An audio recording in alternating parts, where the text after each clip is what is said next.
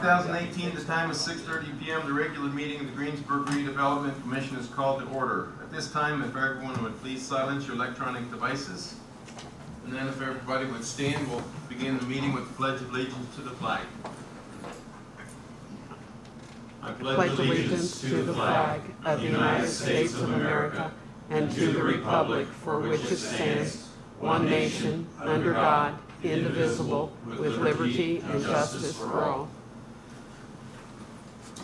To comply with Title VI of the Civil Rights Act of 1964, the city requests that participants in this meeting complete a voluntary anonymous survey that is available on the table in the back of the room.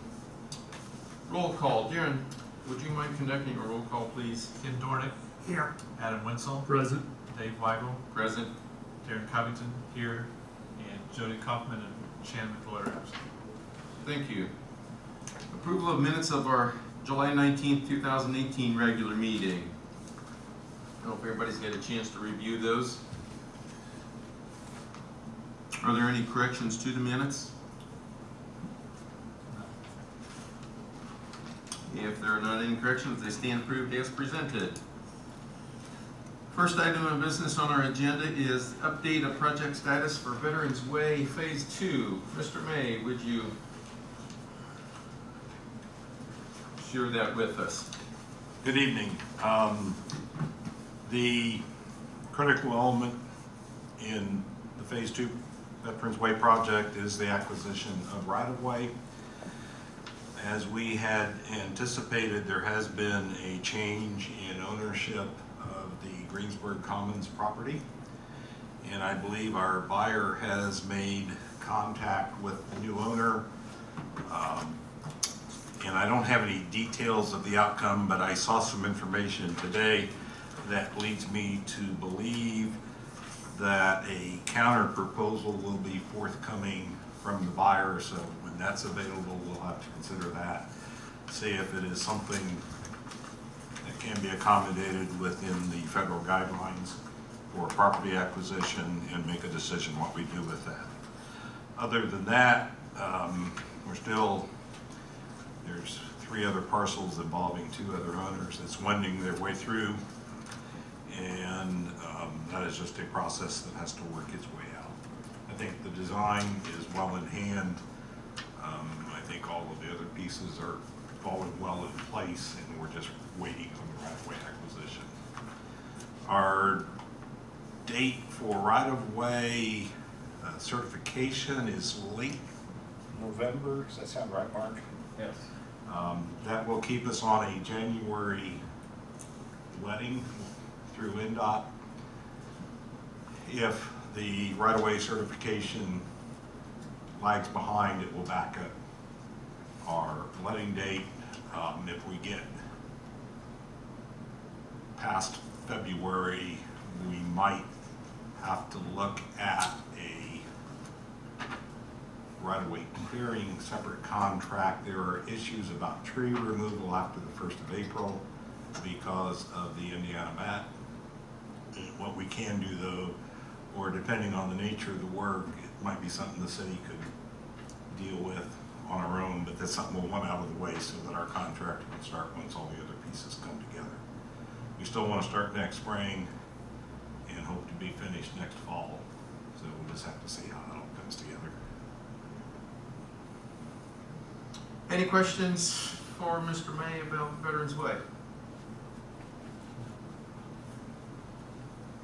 Thank you for that. How about a Lincoln Street update? Um, Lincoln Street has been a process of utility relocation work. Our contractor did, in the last couple of weeks, get a pretty good start um, on his work. The storm sewers south of um, North Street are predominantly installed now. And the utilities, um, the water utility, I think is down to killing, to taking the water line from, I think from Central to Walnut out of service. I think all the services have been moved over. Um, the gas company is done with their work. Uh, Duke, I believe, is either done with their work or nearly done. We do still have communication company cabling and fiber hanging on the old Duke poles, and those utilities need to move over to the new poles. Um, I know that we have been in contact with ETC, and they're, they appear to be very much on top of their situation. Frontier is on site moving their underground stuff that's in the way. Um, and I think Frontier will have to be the last to move off the Duke poles, off the old poles on the new poles. Hopefully that'll come along shortly. So we're making good headway. I think our contractor will be having materials delivered tomorrow and Monday to continue working on the storm sewer. Um, And I'm thinking that we're really looking to be in good shape. There is a probability that our schedule has slipped a little bit. We were to have been done, I think, early in October. Um, I think we're still in pretty good shape to complete this fall, but I think it'll likely be more like November that we get done. Um, And the only concern I have about the November date is weather. If we have an early winter, you can't pay when it gets cold out, not have a good product. Um, But if we have a normal fall, then we should be okay to be finished up and still have a very good project there. I don't know if any of you have had a chance to be over there and see, it's pretty messy, there's holes here, there, and everywhere else. There's piles of dirt, and piles of stone, and piles of pipe, and all of that. Um, the neighbors all seem to be doing okay, have had very little comment from anybody. Um, I try and talk with the neighbors when I see them out and about, haven't talked with a lot of them, but they generally seem to be in good spirits. Um, I've had a couple comments already, it's really nice not having all the traffic on Lincoln Street. We knew that was coming. That's what so- two homeowners have told me. yeah, that's a very common occurrence on a, on a s- road that gets closed for a period of time. so. Um, As far as I know, school got started and that worked okay, so that, that's encouraging. I don't think that'd be the big issue, but yeah, that seems to be not a problem. Well, it was of concern with the middle school and the one-way streets and the modifications that we had to make there. And it, I, I've had at least one comment was, you know, this, having Central, this one block, two-way street really works a whole lot better for dropping my kids off at school and picking them up, so. Any questions about Lincoln Street? Thank you. How about then moving on to the railroad bridge Okay. feasibility study? Railroad feasibility study, first, uh, let's talk a little about schedule. There is the Local Trax, uh, funding opportunity. Those applications have to be made no later than the thirty-first of August, which is, I think, two weeks from tomorrow. So the time is there. Um, I have not technically seen the final report of the feasibility study, but we do have what I have been calling a final draft, and I think probably nothing has really changed since then. Um, And I had submitted that to all of you. Unfortunately, it was yesterday. I didn't give you much time with it. I apologize for that. But um, the study, in a very general sense, looked at the entire city and said, where are the opportunities to get across the railroad? And as you recall, we had originally started thinking about putting a bridge over the railroad. And Strand Associates did our study, and I, we have with us this morning Bill Hawkins, who is the primary author of the report, and I'll let him speak to you here in just a minute. He, he can do a much better job of answering any questions you may have. The first thing we discovered was that because of the geometric requirements, the proximity of Main Street and McKee Street or Randall in the case of Wilder, they are so close together that you can't meet design standards and get up and get back down in that distance. But Bill went the extra mile and looked at going under the railroad, and we discovered um, opportunities that we can get under the railroad, at least in terms of geometrics. Um, After the study got started, we narrowed the field down to three alternatives. One being Wilder Street on the east side of town, one being extending Lincoln Street to the south and connecting with Michigan Avenue, uh, near the McKee Street intersection of Michigan. And the third being Ireland Street extended south to Ireland Street. Any of those three alternatives was considered in terms of a underpass. Um, And after further uh, discussion, we narrowed the field down to extending Lincoln Street south and extending Ireland Street to Ireland Street. And so those were the final, the two alternatives. Um, There was no clear winner, if you will. Um, The construction costs were, uh, I think about six percent. The estimated construction cost, the engineer's opinion of probable cost was, I think, six percent difference. And at this stage, um, I think it's fair to say that six percent is within the margin of error of the estimates. So they're, they're pretty nearly um, the same cost. Um, They each have some advantages and some disadvantages. Um, Lincoln Street would connect Lincoln Street to South Michigan, a major arter- arterial on the south side of the city and provide a good access to a lot of residential property out off of Michigan. It would provide good access out into the southern parts of the county, the southeastern parts of the county. It would provide good access to the hospital and the ambulance service. Ireland Street also provides good access to the southern part of the county by, uh, by going out Southwest 60. Um, It um, provides good access from the fire department on Ireland Street. It provides good access to the proposed new jail. Um, So it's a little of this and a little of that. There would be some differences in property impacts, a little more impact extending Ireland than there would be at Lincoln. Um, Although we do have a new uh, development coming to town, Dollar General on Michigan, that, that that alignment would involve itself with. Um, Those are all things that will get worked out in a detailed design. Um, Without digging any deeper into it than that, I'd like to introduce Bill Hawkins to you and let you all grill Bill about, first, you know, let him, let him say whatever he wants to say about this, but he can answer in a lot better detail than I can. Ron pretty well covered everything. So, uh, don't have really a whole lot to add. They, like you said, both, uh, both of the final options just have their pros and cons. Um, you know, each one has, uh, you know, things that look really good, uh, but then have drawbacks to it. So, um, you know, I think it'd be a tough decision moving forward on, you know, for the Local Trax funding, uh, as to which one is the best to go with. Can you, can you elucidate on the pros and cons of each one? Um, well, uh, to start with uh, um, Ireland, uh, I'd say the, the pros there are you're away from the creek. Uh, that's one of the, the issues that, that uh, comes up with the Lincoln is you're next to the creek so that you're also going to a forested area. Um, so that brings in a lot of mitigation issues, uh, tree mitigation, possibly wetland mitigation issues.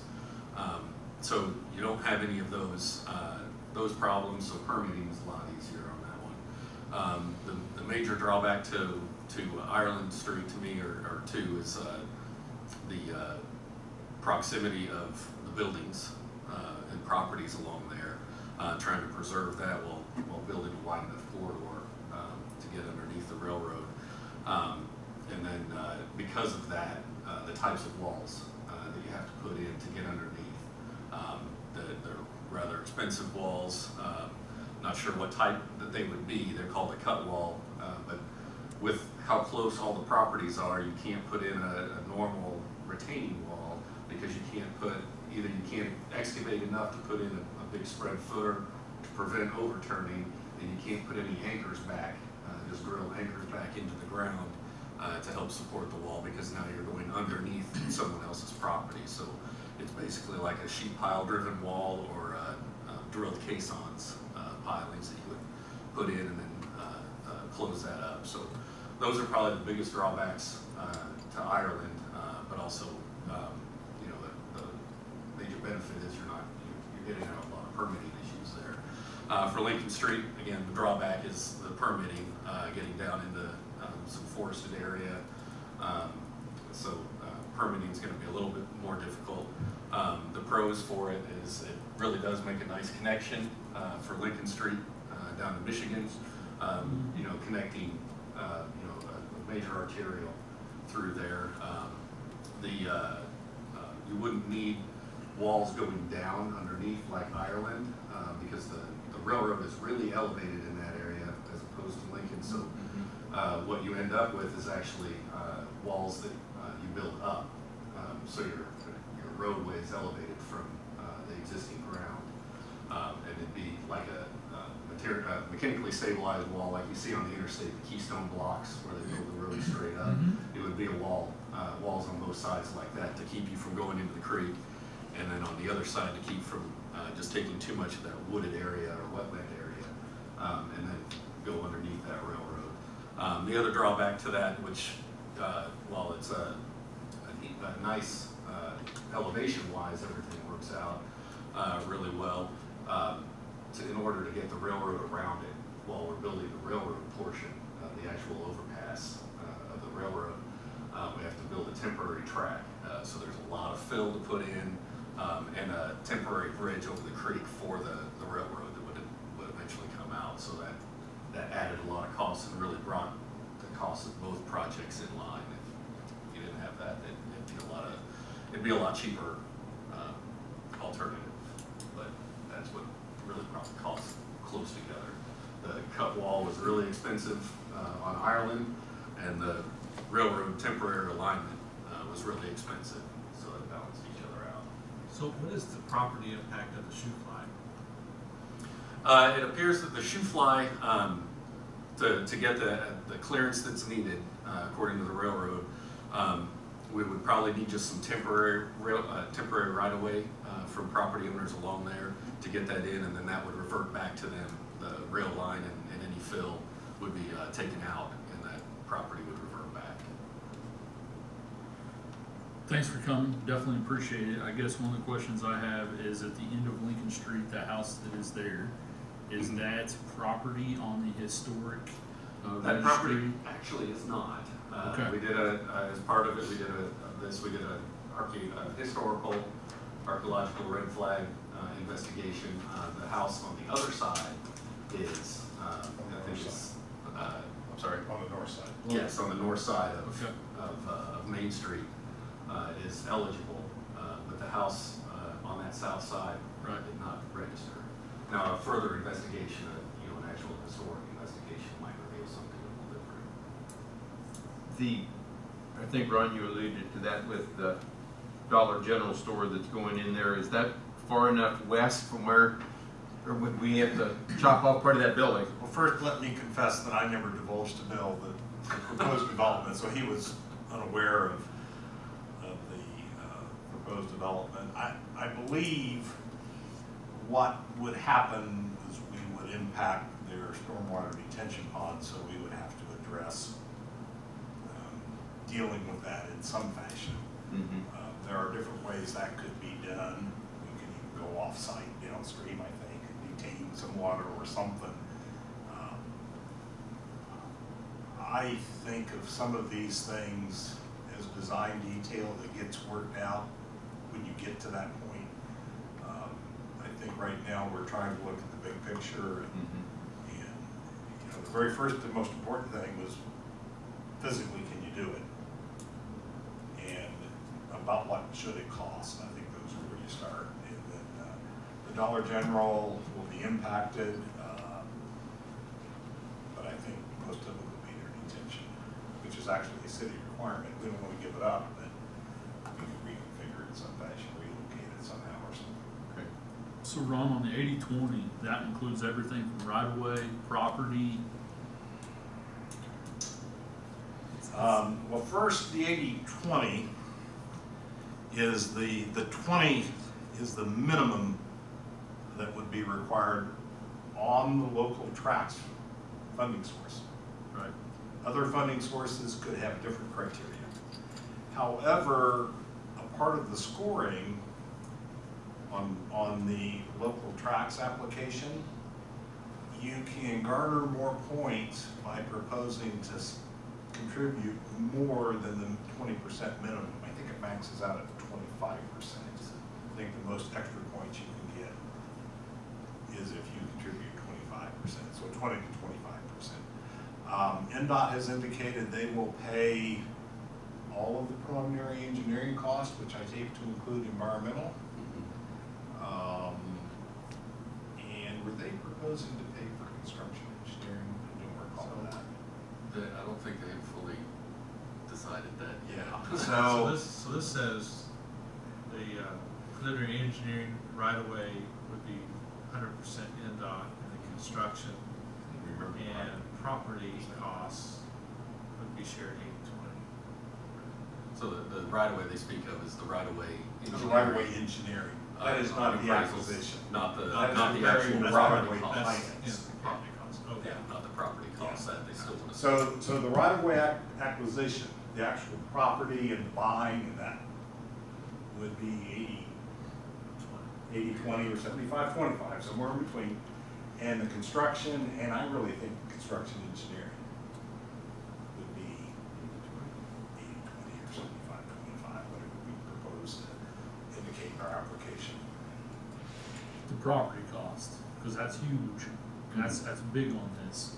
That would be eighty twenty or seventy-five twenty-five? That's, yes. So, so I think when I, when I figured it up, twenty percent would be about one point five million to the city Yeah, I of was playing Ireland. with a round number of ten for the whole, ten million for either of the two, Okay. and so two million. Maybe a little less, because your engineering costs will run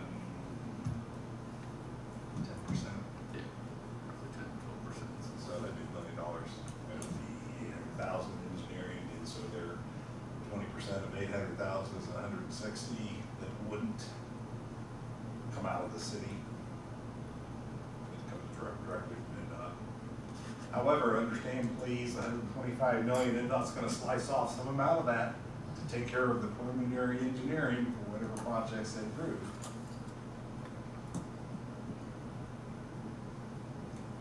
Well, it- it'd be wonderful if we could be selected, you know, for the, for the safety and it's on our project list, so if we could get the state to contribute tremendously to, to the project, it'd be certainly should pursue it. I guess, should we need to, for the application deadline of the thirty-first, we have to say we want this proposal going, hmm, Mayor, do you have anything you care to add before we proceed? No. Uh, it, it, once again, it's a safety issue, it's like you said. Um, And the pros and cons is, it's really kind of interesting. Um, You know, I didn't even think about where they're talking about going under, which makes a little bit of sense on Lincoln.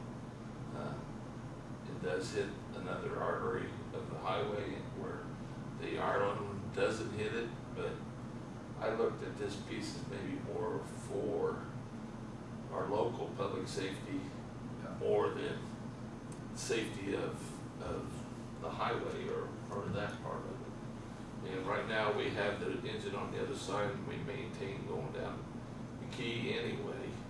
Uh, that was a concern that we've talked about in our meetings, that, you know, McKee's, McKee's pretty narrow little street. And, but, you know, we still deal with that right now with the engine that we have across the road.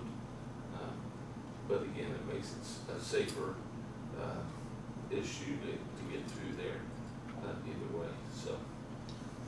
One of the things I often think about, second, fire station is a wonderful thing, but that didn't get you back to the hospital in a timely fashion.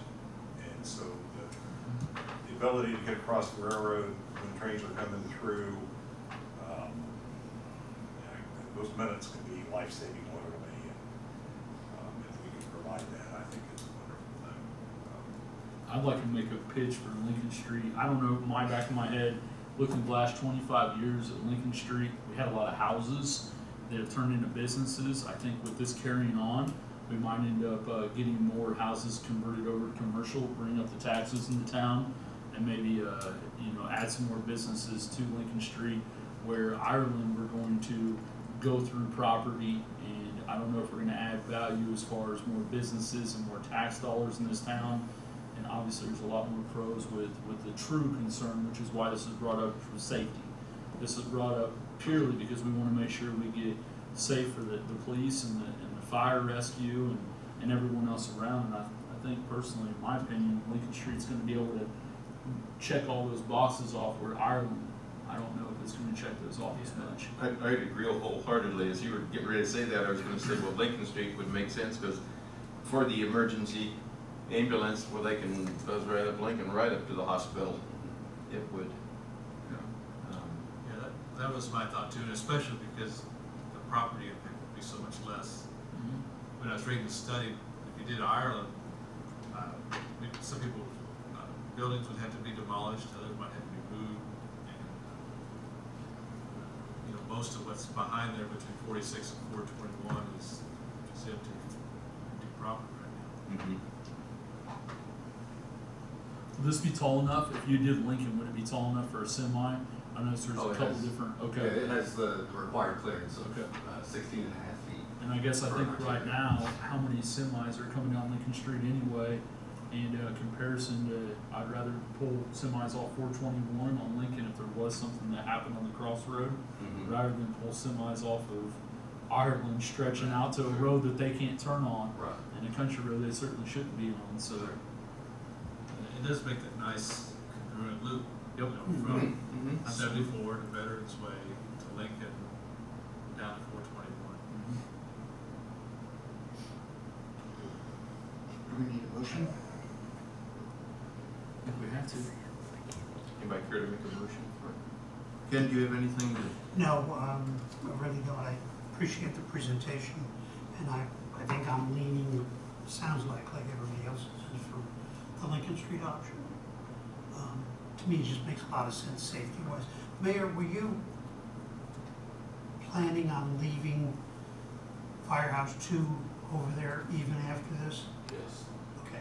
So Uh, then our- There's, there's no, yeah, it's, uh, yeah. so then what this really addresses is the ability, and, and I think that's great, Well, the and I ability to think get thing- squad back and forth. Well, the thing about Ireland, we've talked about it in his report was, we wasn't sure about the water tower. Yeah. And the water tower was a big concern of his when he did that, and so, you know, is that gonna disturb one of the legs? Mhm. I knew that we had to have an upgrade in the sewer system on that side where maybe not on so much on the other end of the tracks. Uh, I think that's a- another piece of it, but Mhm. again, that, to me, when it goes down our island, it's gonna be more for our local people and not for the, the other traffic runs through town. Of course, I'd rather not have semis on Lincoln Street either, so, except for the small area. Yes. So, one more question before we actually have a motion. Um, so, given what we wanna do with Veterans Way and finishing up Lincoln Street, are we uh, in a financial position to, to pay this if we do get awarded the con, the grant? I think from studies Umbaugh have, has done for us, um, you know, with revenue forecasts, TIF funds through twenty thirty-three, yes, we'd be able to, Technically, we Pay could, we could, um, do almost every project except this one right now without any type of grants, including the phase two of Veterans Way. But with the grants that we're getting, Yeah. obviously that alone with Veterans Way Phase Two is gonna make up the difference to do this as well, so. The other thing to add to that is that there are other potential funding sources out there, one of which is your counterpart in the county, the county's redevelopment commission. And because of the impact that Honda has generating the need for this, it seems to me logical that they should consider helping with a project like this, and it's gonna help Honda themselves, it's gonna help their employees get to work in a timely fashion if they don't have to be delayed by the train, you know, it's not anything about the safety aspects of it. Um, One of the things that we need to do is solicit input from the private sector that, so does that need to be done the next two weeks? Yes, but maybe not because of the time. Um, I would have liked to have started on that earlier, but we really needed to be able to tell people what we were pursuing.